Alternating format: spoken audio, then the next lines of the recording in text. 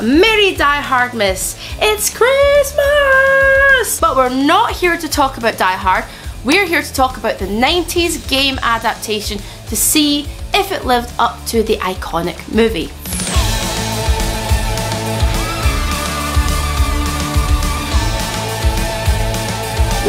Right, let's talk about the plot. Plot is super simple. In the game, you have to reach the top of Nakatomi Plaza, you have to kill the baddies, and you have to free the hostages. That is pretty much it, and it's sort of quite similar to Die Hard, which doesn't take a rocket scientist to watch.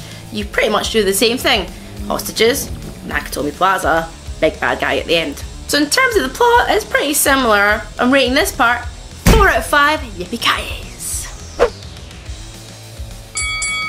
So, the characters are pretty similar to the film. In the game, you have to fight through 40 crooks or bad guys to get to the end point. You've got Hans Gruber and you've got Karl, who are different from the rest of the crooks. Uh, Hans Gruber is the last person that you fight, and you are John McClane. So, essentially, I guess it's quite similar to the game again. I'm rating this part 4 out of 5. Yippee Die Hard's film soundtrack is pretty festive. You have Let It Snow, Jingle Bells, Run DMC's awesome track, Christmas in Hollis, but this is where the game version diverges. It's very 90s 8-bit. It's nothing like the movie soundtrack at all, and it just has a bit of a retro feel. So I'm giving the soundtrack 1 out of 5 Yippee in terms of difficulty, it's not that difficult at all. It's very much a game of its time. It's not very complicated. Run around, shoot the bad guys, get to the end, save the hostages. However, if the game was made today with these complex, amazing game engines we are so used to, you'd have something probably more akin to Hitman meets Just Cause, which would be kind of awesome.